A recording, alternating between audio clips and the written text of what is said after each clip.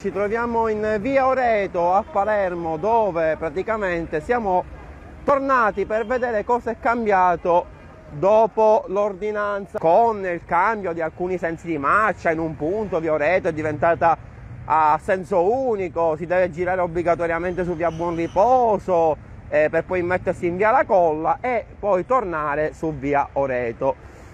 Eh, purtroppo tocca constatare che soprattutto durante le ore calde del giorno, quindi la mattina quando aprono le scuole, gli uffici e nell'ora di pranzo e all'ora di cena quando chiudono, la situazione eh, è nel caos, è nel caos più totale, eh, come ci hanno segnalato alcuni residenti del quartiere che appunto vivono i disagi ogni giorno di questa zona. Questa è una delle parallele di Vioreto, tanto per darvi un'idea. Ed è quello il grande problema. Il grande problema di Vioreto è proprio questo: gli ingressi sulla strada, sostanzialmente dalle vie laterali, che provocano queste code di auto. Quella è via La Colla, e lì c'è via Pietro Spiga che è stata chiusa con dei ferri rossi eh, per impedirne l'ingresso e quindi tutto il traffico è stato deviato su queste bretelle laterali e come vedete purtroppo le stesse risultano paralizzate. Lì traffico non ce n'è più, ma perché semplicemente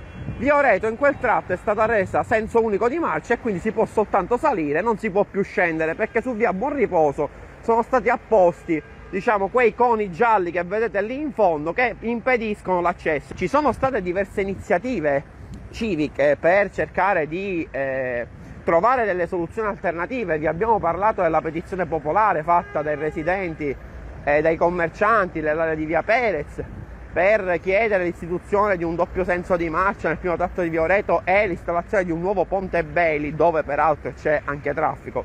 Abbiamo fatto delle riprese dal ponte Oreto e insomma eh, pare che ce ne sia un'altra per richiedere diciamo, il ripristino della vecchia viabilità.